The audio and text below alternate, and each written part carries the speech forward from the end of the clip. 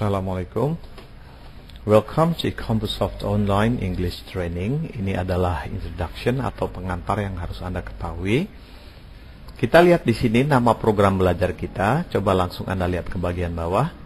Adalah General English Conversation. Kenapa saya sebut General English Conversation? Karena dalam pengajaran bahasa Inggris ada beberapa macam program seperti Business English Conversation, atau English for specific purpose, misalkan pelatihan yang diberikan untuk dunia kedokteran, akuntansi atau pelaut dan sebagainya. Sedangkan yang saya berikan pada Anda kali ini adalah General English Conversation yang merupakan bahasa Inggris umum yang bisa diterapkan di mana saja.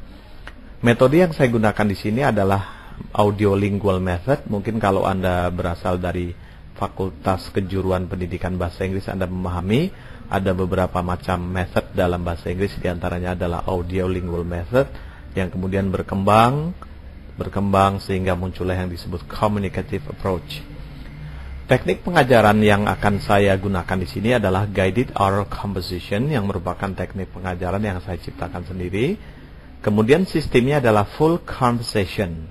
Jadi di sini benar-benar langsung praktek full conversation. Saya tidak menghambur-hamburkan rumus grammar kepada Anda karena tujuan belajar bahasa Inggris adalah menguasai skill, bukan menguasai grammar seperti yang telah Anda baca dalam materi sebelumnya, yaitu syarat sukses belajar bahasa Inggris. Jumlah materi yang saya berikan adalah 32 pelajaran. Jika seminggu dua kali belajar atau dua kali materi, maka ini setara dengan 4 bulan. Adapun materi yang akan Anda terima adalah pronunciation. Pronunciation ini makhraj atau lafal. Kenapa ini penting? Karena banyak sekali kesalahpahaman dalam bicara berbahasa Inggris khususnya dengan orang asing adalah karena Anda tidak menguasai pronunciation. Di mana Anda tidak bisa membedakan antara bad dengan bad, bad, bad, bad, dad, dead. Ayah dad, mati dead. Ya, di situ sering terjadi kesalahpahaman.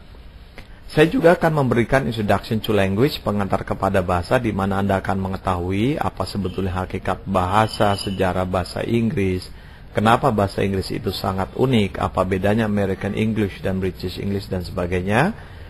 Kemudian saya akan memberikan receptive speaking, yaitu membentuk kemampuan bicara Anda secara reseptif. Nanti Anda akan paham selanjutnya.